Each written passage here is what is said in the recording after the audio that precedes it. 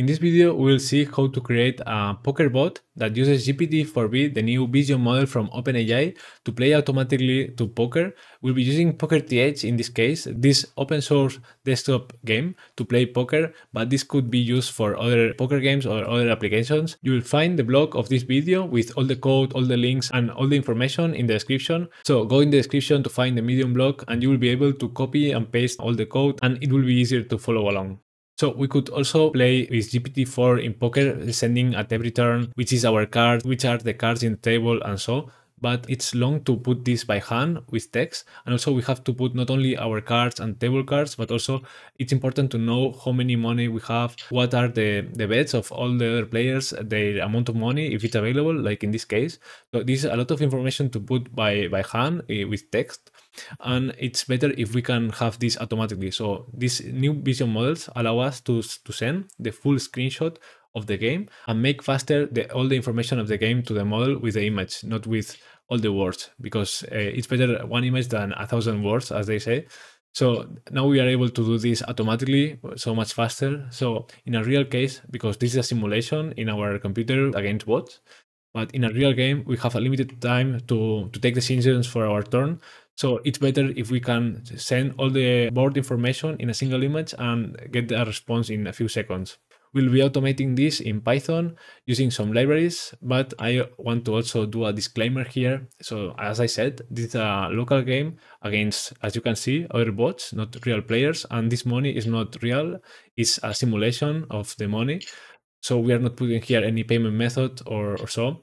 And I think that it's legal to use bots to play poker online. Well, maybe it's not always legal, but can be legal sometimes. But even so, I don't recommend doing this in real situation because you can lose a lot of money because these uh, agents are not perfect and they can lose. So they can play poker, but maybe are not good and can make um, huge errors.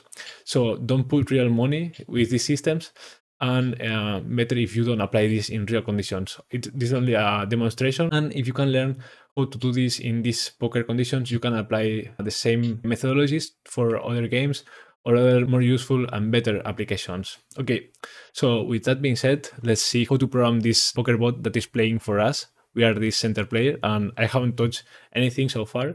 And it's doing calls, bets, and it's reasoning why it's the better move at every time. So let's see how to use GPT-4V and how to build a poker bot with it. Okay, so let's start by doing a basic example of how to use the new GPT-4V model from the API. So here we can see the official documentation. Uh, you can find here some description of the model, how it works, and how to call it in uh, different ways. So we'll be doing a similar example of the ones that we can find here. Uh, you will find all of these links and also the code that we'll be using in the blog that you will find in the description. So here you can check more details of how the images are processed, like the pixels are transformed into tokens. So depending on the resolution, we'll be spending more or less tokens. And here are some frequently asked questions. And in order to use the API, you need to have an API key from OpenAI. So you have to come to platform.openai.com and create here an account if you don't have it, and then go to API keys and then fulfill the requirements. You have to put a way of payment and validate your account. So then you'll be able to create here a new secret key and get the, the full value of this key. And you'll be able to use it to call the API later in the in the code. Okay, so now we'll go to our Visual Studio Code editor or your favorite code editor, and we'll create a folder for our project. This is mine, GPT-4V Poker Bot and now I have to create an images folder. I will call it like this. And to start, I will put here an example image. I will use this image as an example. You can use this one or any other. It's just for demonstration purposes to, to check that it works. Okay, so this is my example image. I have it here. And let's create a notebook to develop our poker bot. Let's call it poker bot dev because here we'll be developing step by step our logic and the examples. So we'll start by importing OpenAI from OpenAI and base64. And in order to use OpenAI, uh, we'll have to install it. So we can open the, the terminal. So before installing the Python libraries, we'll create the virtual environment. This is a recommendation, but it's up to you. So let's do Python virtual environment. And now we have here our virtual environment. Now let's activate the virtual environment. Like this. Uh, in Mac and Linux is different. You can search it in Google how to do it. And now we can do the pip install of these libraries of here, OpenAI, NumPy, PyAutoGUI, and OpenCV. Those are the four libraries that we'll be using, the external libraries. The ones are already installed in Python, so let's install them. And now we can already run this. So let's start by creating here a helper function. This function will be used to encode our image to base64 so we can send it in the in the request. So this will encode our image in text format to be passed to the API. Then we'll be defining the path of our image. So this images folder example pic.jpg. So this is the path of it. And we're converting already this image from here to the base64 format. Now we can already create the client of the OpenAI API. So here you will need your API key. There are different ways of dealing with the API key with the environment. So you can have it, for example, in your Windows or your Linux or Mac environment variables, and you won't need to do this. But if you haven't done it yet, it's the easier way and not much safe if you share this code. So make sure that you don't share this code publicly because here you will expose your API key. But here you have to replace this string with your real API keys that normally starts with SK, this dash, and whatever key you have here. So this is one option, but as I have my API key in my environment variables, I will do another way. So uh, I will do it like client and simply calling OpenAI, the class, but without any parameter here because it will already find my API key in my environment variables. Okay, now we have the client, so we can already create the method to call it. So we'll be using the chat method with completions and we'll create this request to the API. We'll be using uh, the GPT-4 vision in this case. Now it's in preview yet, so if you come from the future, maybe it's not already in preview, it's in a stable version, but for now we will have to put GPT-4 vision preview. We'll be telling, first of all, that our request of here uh, that we are the role user and the content of our message will be first of all a prompt the instructions of what it has to do so uh, our instruction now will be pretty simple like describe what's in the image so this will be only our current instruction and here we'll send another message that will be of type image url and we'll send our image in code in base64. So here in this uh, variable of here, we are passing the, the image that we had here in our folder encoded in base64 so it can receive it in a web in this web format, let's say. Okay, we'll put 300 tokens as maximum of its output. Let's put 500. Okay, so now we can already check the results, but first we'll have to print them. So here we'll have our response that will be quite complete. So let's see what's the full response. Now we are requesting again to the model. And here in the choices, we have uh, our message set completion message and the content of the message is the image depicts a painting that features a escape sense blah blah blah. So it's basically a quite long response. It's describing what it saw in the in the image, um, basic description of it. So let's print only the response of it like this. Now, if we do it again, um, well, we'll have another response. So let's let's check what's the new response because it will be slightly different probably.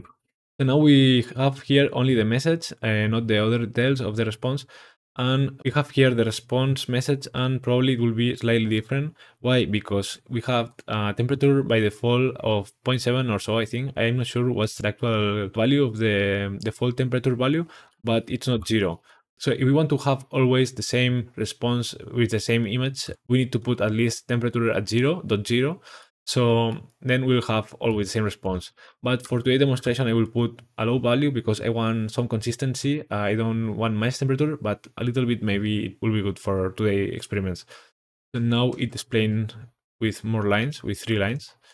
And we could try now to, um, if we remember what was the example image, it's a painting. So we can ask for the for more specific things like the styling of the of the picture or how to create a painting like this, what's the technique, or to name similar authors that created paintings in this style. So we can imagine many, many related questions that will be more useful, more specific to this task. And we could change this task of here, this prompt instruction to this more specific. Um, the model would be much, much helpful.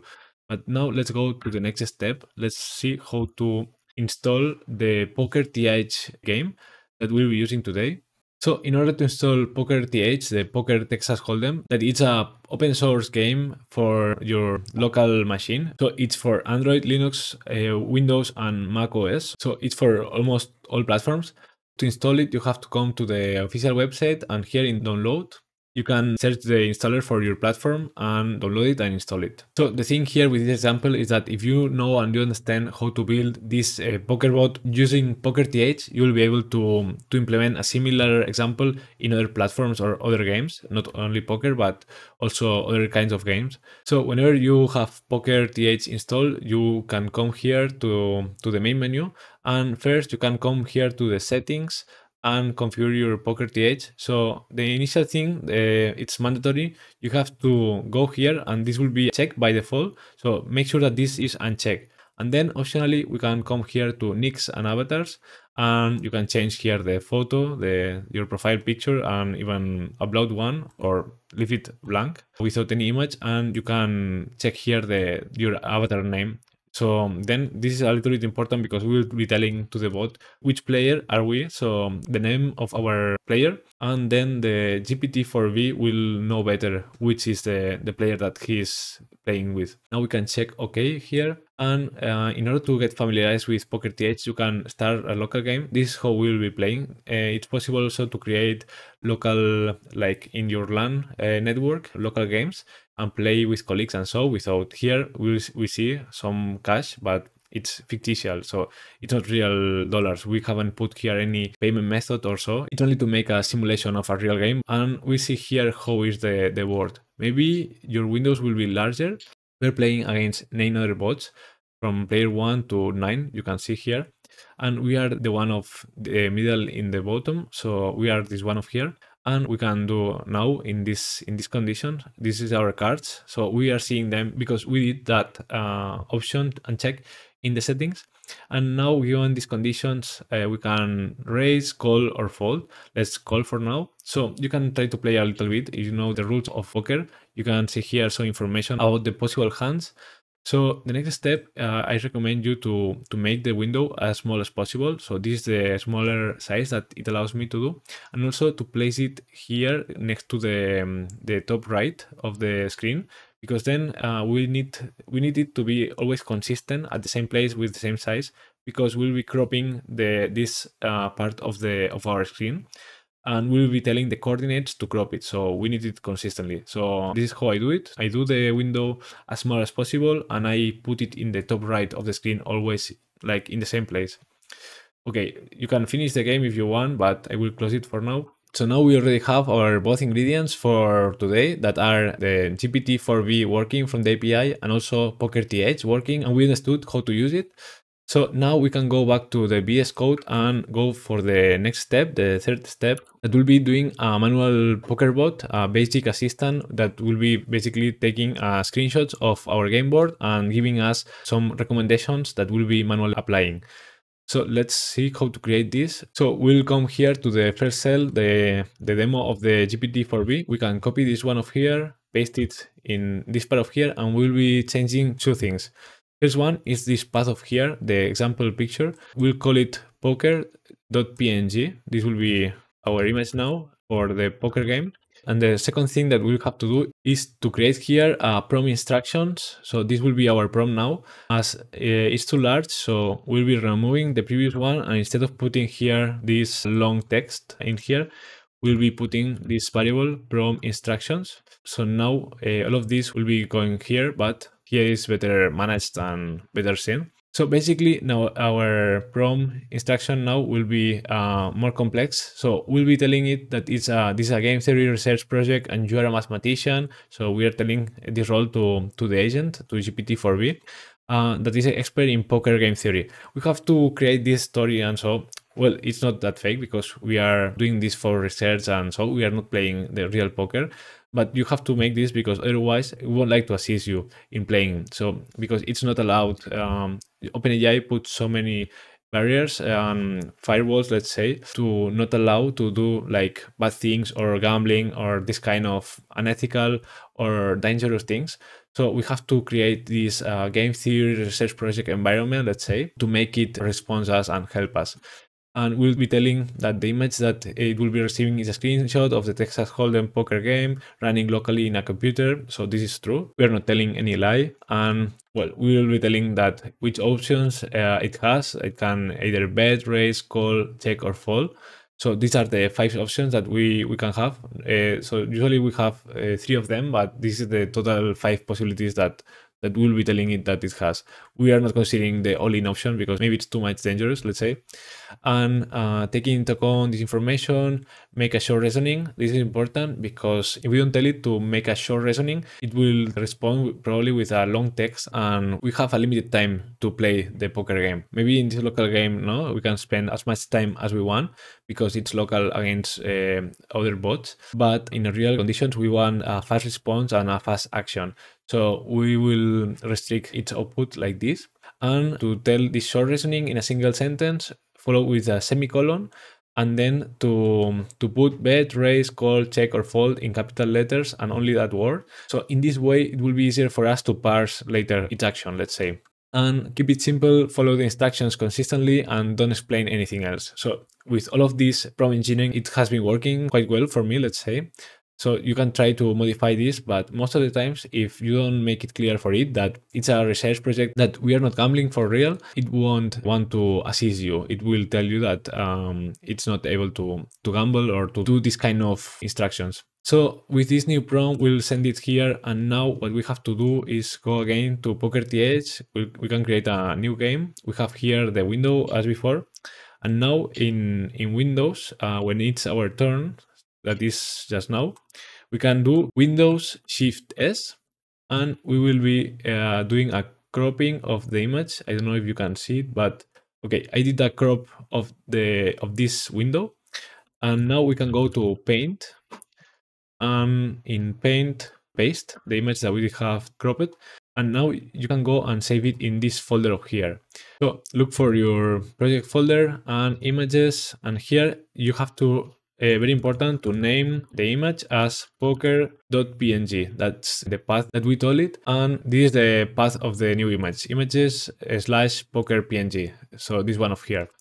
So now we have everything ready. So let's see what it thinks that we should do in this uh, condition. Now it's our turn and it says that with a weak hand uh, 6 and 2 so okay it identified properly our cards it's facing uh, arrays and multiple colors. The optimal play is to minimize losses and exit the hand so it's recommending us to fold okay it's um it's a weak hand so probably the best thing to do. So in this way we can see here shortly a very a short reasoning uh, but it has been quite good and also the final action to take. Okay let's try again now in this new uh, game and I will be again copying uh, the screenshot, uh, the part of the screenshot of the of the game. I will be pasting here in top. So it's a recommendation to leave Paint open or the any program that you're using for this. So I will be pasting this in top, okay, and saving it again. Uh, it will be saved overwriting the previous uh, image. So now I have here the updated image, this game of here. Let's try to put this better like this. Okay, let's run this again in these conditions. Now we have a J and a 9.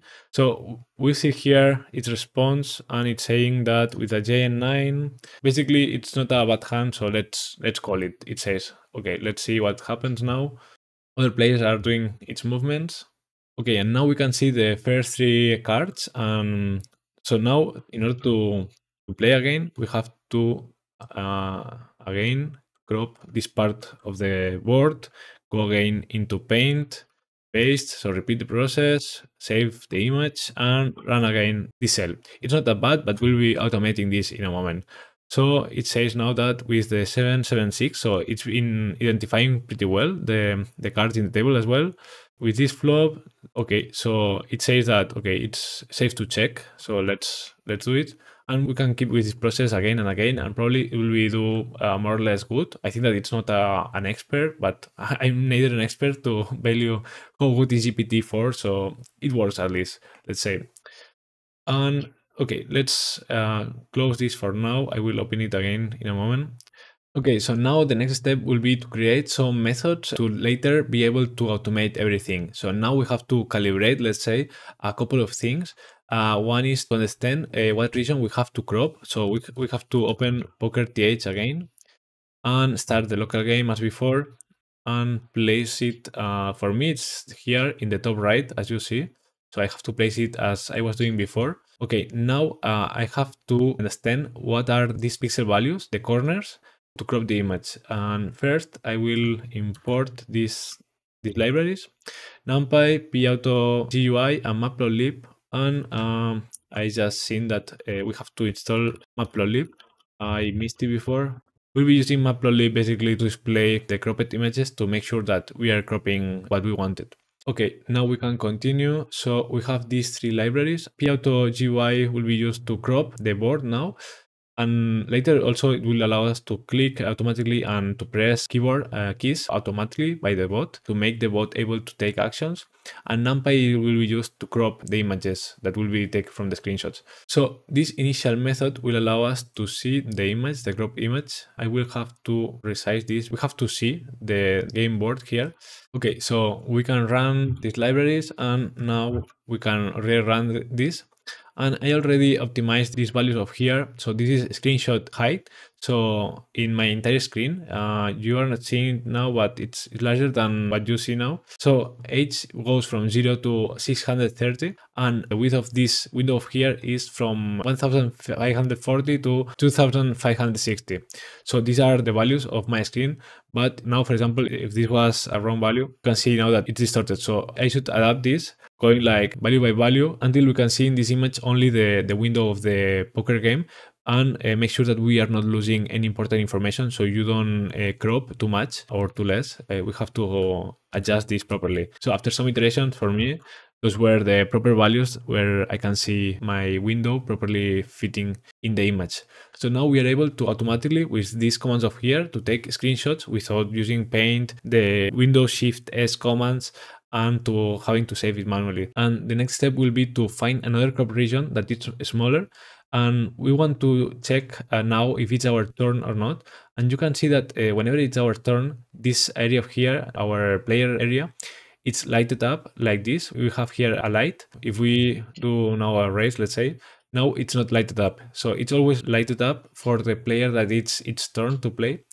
So we will be cropping a small area of here and we'll be seeing if that area is uh, is lighted or not. So we'll be analyzing with NumPy the mean of the values of the pixels in that area to understand if it's our turn or not. Uh, every 0.5 seconds, we'll be checking if it's our turn or not. And whenever, again, it lights up this area here, uh, we'll know that it's our turn. So we'll be able to do the full screenshot, this crop of the all the board and send it to GPT-4v and wait for its response. But if it's not our turn, we have to wait to be our turn because otherwise the image won't have the complete information for us to play. Okay, so to do this uh, other crop, we'll do it with a similar method.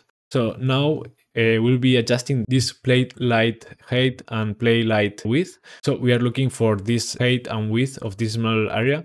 I already set them. Uh, those are the values for my, my case, having everything set like this. You will see what I mean. So it's a it's a very small region in this corner here that now uh, we already did it maybe I have to move my image a little bit or maybe it's better to, to adjust the parameter. So I want to have this uh, lighted part of here more in the center of this small image. So I have to do it maybe with 295 and 305, let's say. Okay, now we see here the corner. So now uh, all of this is lighted up because it's our turn. And also, um, whenever you have also the width of it, so make sure that you find this small region in the corner. So now uh, I'm taking the crop of this screenshot, this small part, and doing the mean of it, the, the average uh, of the values, the pixel values, and it's uh, 52. I'm printing it here, it's 52 in this case, that it's our turn. So now let's try to call, for example, and now that it's not our turn, let's run it again. And we see here that it's not lighted and it's 40 now the value of the average of these pixels of here because now it's it's not our turn.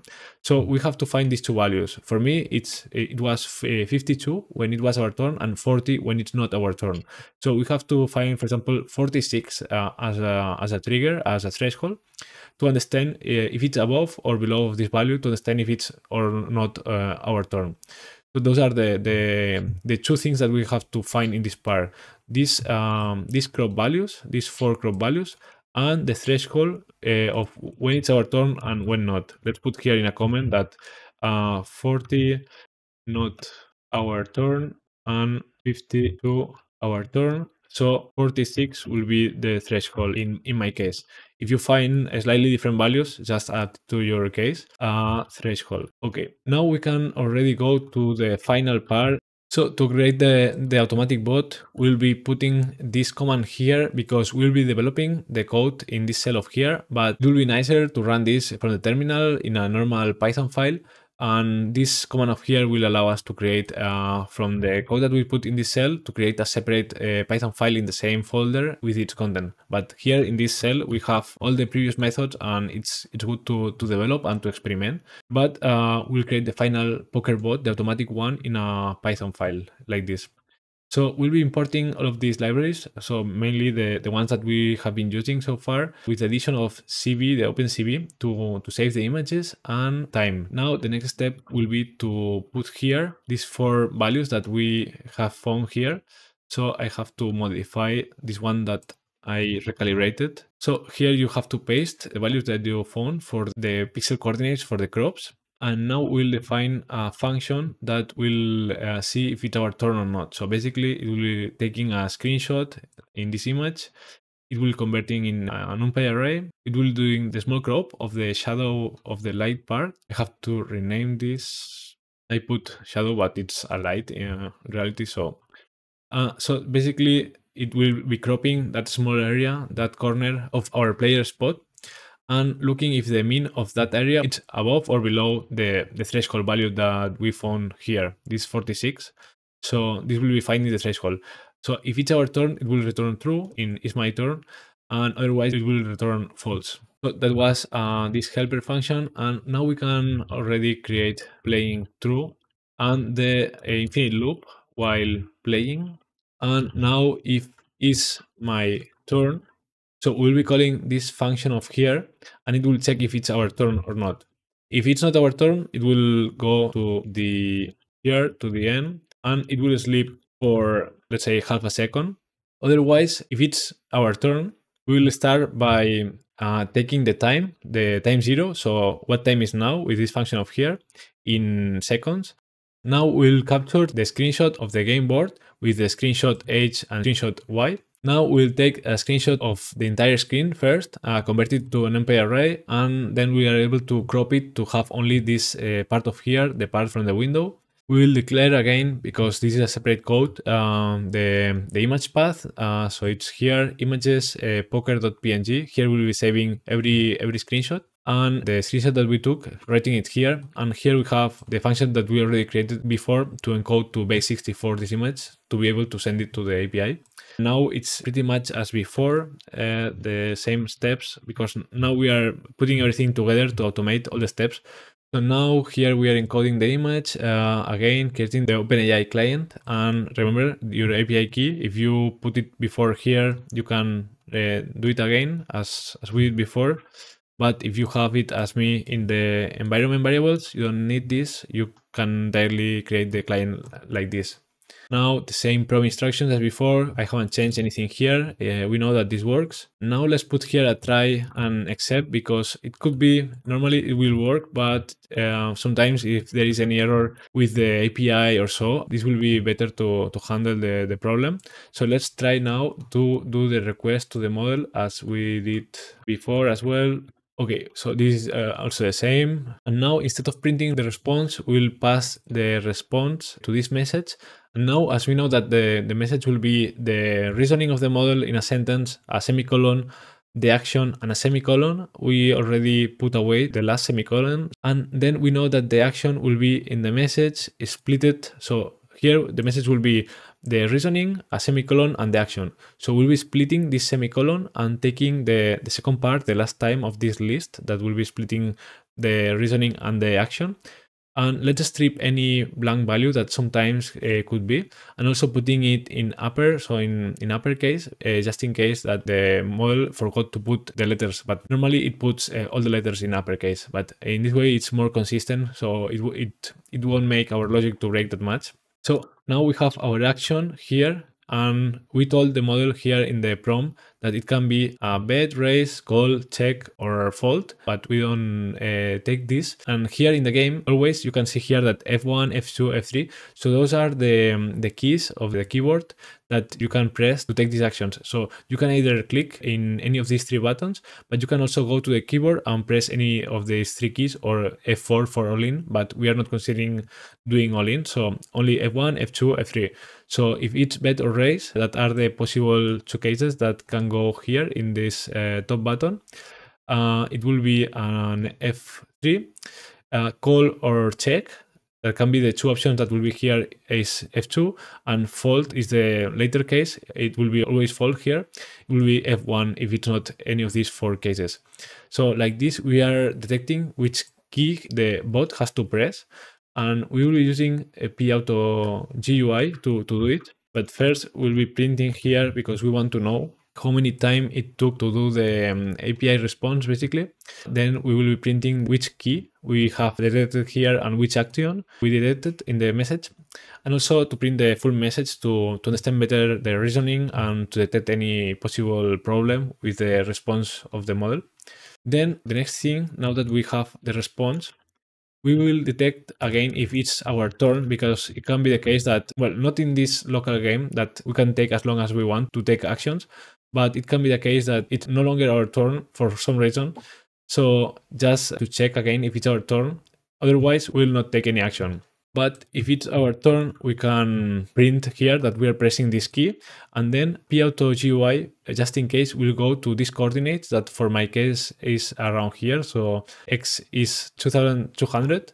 So around here and Y is uh, 5 uh, on the top. So I want to go to these uh, coordinates and click. So I want to do this to put this window in, in top because if we press F1, F2 or F3, this key of here and this window is not on top, we won't press it here. We won't press it uh, somewhere else. So we want to click and then press the, the key action the bot has decided to take given these conditions. And then we will go to sleep one second just in case to make the game go around and update its state. And uh, if it's not our turn, so in this else case, we want to print that instead of pressing this key, we are skipping to press this key. So just to remember which was the key, but we are not pressing it, we are skipping to press it. Uh, just to know that uh, something happened and after all the API reasoning and so, it was no longer our turn. Okay, and we are in this try indentation of here, and if something happens and this try crashes, we want to print the exception that occurred to see if there is any problem in our uh, code or in the API to see what was the problem and also the, the response message if there is any because sometimes the problem could be that there has been a response message but it wasn't in this format so we didn't had any good response as we wanted. And that will be uh, all the code that we need. So now if we run this instead of running it we have created this in a file because we had this method here if we remove this, this will be running in this uh, notebook cell, but I prefer to run this from the terminal from this file that has been created here, the pokerbot.py. So let's run now. Um, I will have to make this smaller just in case.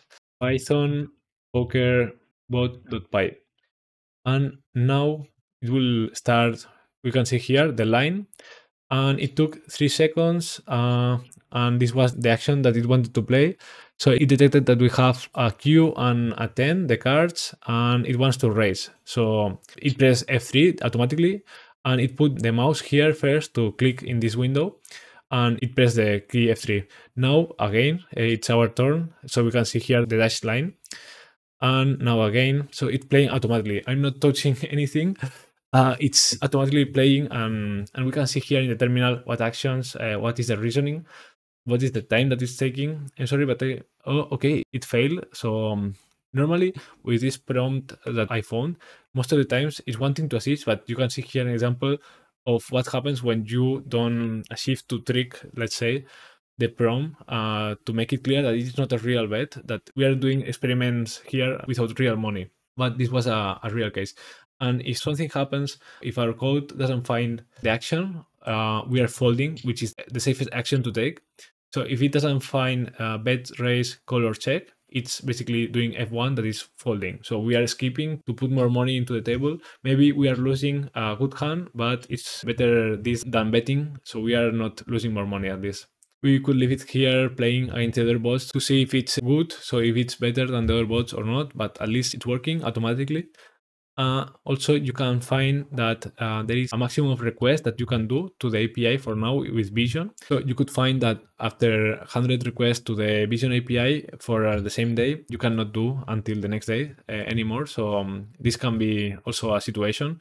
You can request for more, but this is the default behavior for now. Let's see in the future. So um, this is how it works. I hope that this is helpful for you and you can apply this to not only for poker, but other conditions. If you learn how to automate this full process, how to take screenshots from any part of the computer, let's say from any other program, send it to GPT-4 Vision, make it understand what's the task, automatically take its response, parse it.